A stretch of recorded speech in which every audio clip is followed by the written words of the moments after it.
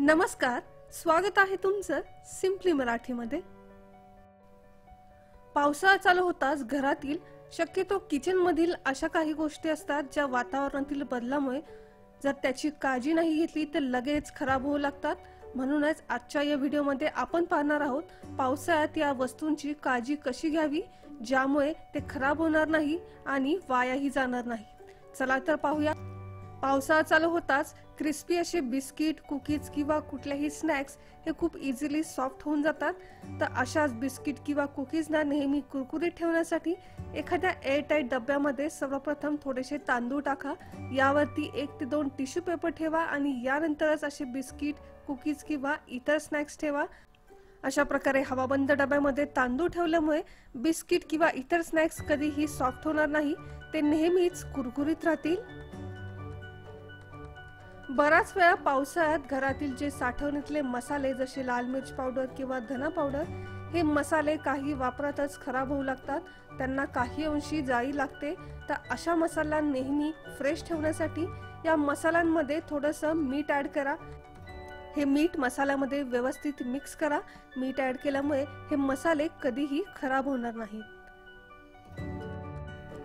घरात वापरण्यात येणाऱ्या सर्व प्रकारच्या डाळी तसेच कडधान्य यांनाही या पावसाळ्यामध्ये खूप लवकर कीड लागते.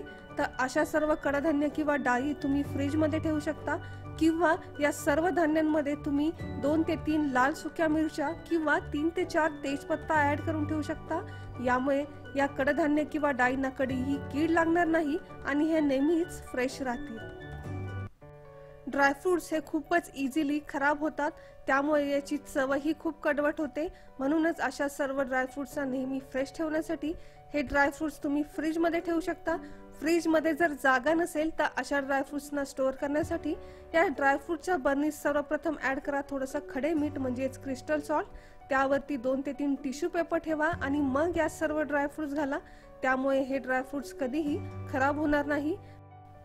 याशिवाय एअरटाईट कंटेनरमध्ये हे सर्व ड्रायफ्रुट्स ठेवून यात थोडीशी साखर ॲड करा.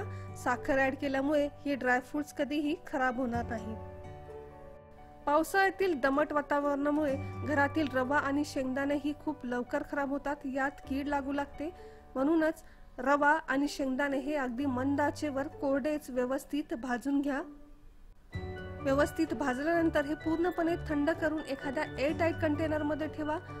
रवा आणि शेंगदाणे व्यवस्थित भाजून ठेवल्यामुळे हे लवकर खराब होत नाही आणि बरेच दिवस असेच व्यवस्थित राहतात. सर्व प्रकारचे पीठ किंवा मैदा हे खराब होऊ नये म्हणून अशा सर्व पिठांच्या डब्यात तीन ते चार तेजपत्ता ऍड करा. तेजपत्ता ऍड केल्यामुळे या पिठांना कधीही कीड किंवा जाळी लागत नाही आणि हे बराच दिवस फ्रेश राहतात.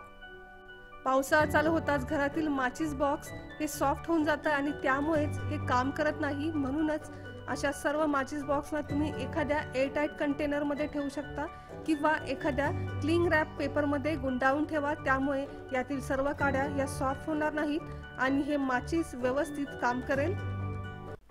तर ह्या होत्या काही खास मान्सून स्पेशल किचन टिप्स. पावसाळा चालू होतोय तर ह्या किचन टिप्स तुम्ही घरात नक्की वापरून पहा. यातील कुठली टिप तुम्हाला खूप उपयोगी वाटली हे आम्हाला कमेंटद्वारे नक्की कळवा. तुम्हाला आमचा हा आजचा व्हिडिओ आवडला असेल तर या व्हिडिओ लाईक आणि शेअर करायला विसरू नका. तसेच अशाच काही खास रेसिपी आणि खास टिप्स पाहण्यासाठी सिम्पली मराठी या चॅनलला सबस्क्राईब करा.